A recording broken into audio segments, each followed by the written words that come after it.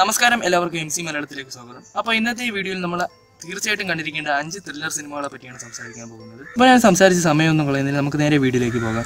അഞ്ചാമതായി നമ്മുടെ ലിസ്റ്റിലുള്ളത് the mystic river എന്ന് പറയുന്ന സിനിമയാണ്. ഈ സിനിമയിൽ മൂന്ന് തിക് ഫ്രണ്ട്സ് ഉണ്ട്.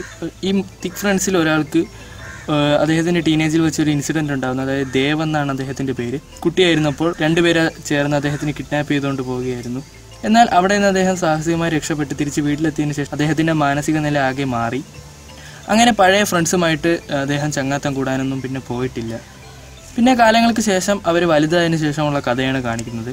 അവിടെ നിന്ന് ഈ മൂന്നിൽ ഒരാളുടെ മകൾ കൊല്ലപ്പെടുകയും അത് അന്വേഷിക്കാനായി ഈ മൂന്നാമതിൽ ഒരാൾ ഒരു പോലീസ് ഓഫീസറാണ്. അപ്പോൾ അദ്ദേഹം ആ കേസ് ഏറ്റെടുക്കുന്നു അത് അന്വേഷിക്കുന്നു. ഒടുവിൽ ആര് കൊല്ലുന്നു എന്നതാണ് ഈ സിനിമയുടെ കഥ.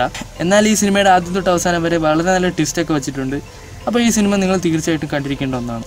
നാലാമതായി നമ്മുടെ ലിസ്റ്റിലുള്ളത് ട്രയാങ്കിൾ എന്ന് പറയുന്ന സിനിമയാണ്. ഈ സിനിമ വളരെ വ്യത്യസ്തമായ രീതിയിലുള്ള ഒരു സിനിമയാണ്. ഈ സിനിമയുടെ വൺ ലൈൻ എന്ന് പറയുന്നത് കുറച്ച് പേര് ചേർന്ന് ഒരു പായ്ക്കപ്പലിൽ യാത്ര പോകും എന്നാൽ കുറച്ച് ദൂരം പോകുമ്പോൾ ഒരു കൊടുങ്കാറ്റ് വരെയും ആ പായ്ക്കപ്പൽ തകരുകയും അതിൽ പോയ ഒരാളെ കാണാതായതിനു ശേഷം അവർ കഷ്ടപ്പെട്ട് നീന്തി അവിടെ ആ പായ്ക്കപ്പലിന്റെ ഒരു അവശിഷ്ടത്തിൽ കയറിയിരിക്കുമ്പോഴത്തേക്കും വേറൊരു ബോട്ട് അതിലേക്കൂടെ വരുന്നു. ഇവർ കൈ കാണിച്ച് ആ ബോട്ട് നിർത്തി. അതിനുശേഷം ഇവർ ആ ബോട്ടിനകത്ത് പ്രവേശിച്ചതിന് ശേഷം ആ ബോട്ടിൽ ആരുമില്ല. ആരും തന്നെയില്ല ഒരു മനുഷ്യരുമില്ല.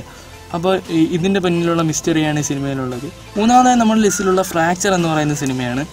ഈ സിനിമയിലെ ഒരു ഭാര്യയും ഭർത്താവും. അത് ഭർത്താവിന് ഭാര്യയോട് ഭയങ്കര സ്നേഹമായിരുന്നു. എന്നാൽ ആ ഭാര്യ വേറൊരു റിലേഷൻഷിപ്പിൽ പെട്ടിരിക്കുകയായിരുന്നു.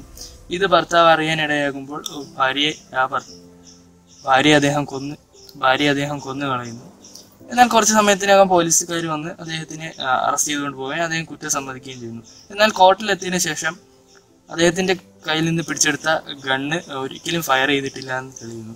അങ്ങനെ അദ്ദേഹം കുറ്റക്കാരനല്ല എന്ന് കോർട്ട് പറയുന്നു. ഇതുമൂലം ഒരു ലോയറിന് അദ്ദേഹത്തിന്റെ പണി നഷ്ടപ്പെടുന്നു. അങ്ങനെ അവസാനം ആ ലോയർ ഇതിന് പിന്നിലുള്ള മിസ്റ്ററി എന്താണെന്ന് കണ്ടുപിടിച്ച് ഇദ്ദേഹത്തിന് ശിക്ഷ വാങ്ങി കൊടുക്കുന്നുണ്ടോ ഇല്ലയോ എന്നതാണ് ഈ സിനിമയുടെ അവസാനം.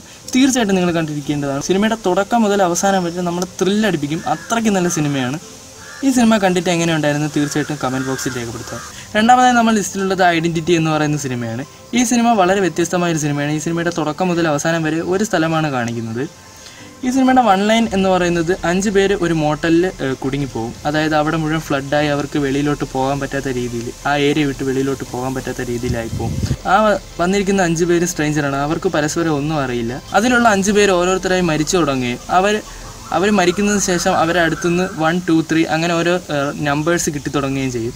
അപ്പോൾ ഇതിന് പിന്നിൽ ആരാണ് എന്ന് കണ്ടുപിടിക്കുന്നതാണ് ഈ സിനിമ. വളരെ നല്ലൊരു സിനിമയാണ്. സിനിമ വളരെ ഇൻട്രസ്റ്റിംഗ് ആയിട്ടുള്ള സിനിമയാണ്. ഈ സിനിമയുടെ പകുതി വെച്ചൊന്നും നമുക്ക് നിർത്തിപ്പോകാൻ പോലും തോന്നത്തില്ല. അത്രയ്ക്ക് സൂപ്പർ സിനിമയാണ്. വളരെ ട്വിസ്റ്റ് നല്ല സസ്പെൻസും എല്ലാം ഉള്ള സിനിമയാണ്. നിങ്ങൾ തീർച്ചയായിട്ടും കണ്ടിരിക്കേണ്ട ഒരെണ്ണമാണ് ഒന്നാമതായി നമ്മുടെ ലിസ്റ്റിലുള്ള പ്രീ ഡെസ്റ്റിനേഷൻ എന്ന് പറയുന്ന സിനിമയാണ്. ഈ സിനിമയുടെ വൺ ലൈൻ ഞാൻ പറയാൻ ആഗ്രഹിക്കുന്നില്ല. അത്രയ്ക്ക് സൂപ്പർ സിനിമയാണ്. ഒരുപാട് ട്വിസ്റ്റ് സസ്പെൻസ് എല്ലാം ഉണ്ട്. ഒരു ത്രില്ലർ മൂവിയുടെ ബെസ്റ്റ് എക്സാമ്പിൾ ആണ് ഈ സിനിമ ഓക്കെ? എന്നാൽ എന്നാൽ ഈ സിനിമ കുറച്ച് കൺഫ്യൂസിംഗ് ആണ്. അതുകൊണ്ട് ഇതൊരു ടൈം ട്രാവൽ ബേസ്ഡ് മൂവിയാണ് അപ്പോൾ എപ്പോൾ ഓരോ ഇൻസിഡൻസും എപ്പോൾ നടക്കുന്നത് നിങ്ങൾ നോട്ട് ചെയ്ത് വെക്കണം. അല്ലെങ്കിൽ നിങ്ങൾക്കൊന്നും മനസ്സിലാവാൻ ചാൻസ് ഇല്ല. നിങ്ങൾക്ക് എല്ലാവർക്കും വീഡിയോ ഇഷ്ടമായെന്ന് തോന്നുന്നു. ഇഷ്ടമായിട്ടുണ്ടെങ്കിൽ തീർച്ചയായിട്ടും ലൈക്ക് ചെയ്യുക. ഒരുപാട് ഇഷ്ടമായെങ്കിൽ നിങ്ങളുടെ കൂട്ടുകാരുമായിട്ട് ഷെയർ ചെയ്യുക. ചാനൽ ആദ്യമായിട്ടാണ് വീഡിയോ കാണുന്നതെങ്കിൽ തീർച്ചയായിട്ടും ചാനൽ സബ്സ്ക്രൈബ് ചെയ്ത് തൊട്ടടുത്ത് വരുന്ന ബെല്ലൈക്കനും കൂടി അമർത്തുക. ബെല്ലൈക്കൺ അമർത്തിയാൽ മാത്രമേ ഞാൻ ഇടുന്ന വീഡിയോസ് നിങ്ങൾക്ക് ഡെയിലി നോട്ടിഫിക്കേഷൻ ആയിട്ട് വരൂ.